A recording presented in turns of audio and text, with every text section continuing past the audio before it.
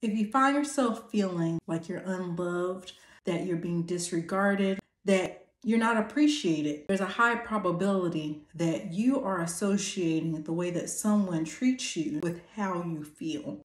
And you feel that way because you've been mistreated. But here's the thing you cannot base how you feel about yourself or your self worth or your self value off of how someone treats you because someone else's behavior is never about you, it is always about them.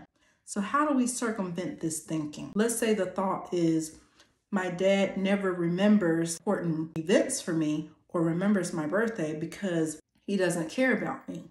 Tell yourself the opposite thought. My dad does love me and he cares about me, but he is a person who is self consumed, and that's why he doesn't remember any of my important events. It's important to make sure that you keep your mindset in check. Your thoughts are the greatest predictor of your emotions.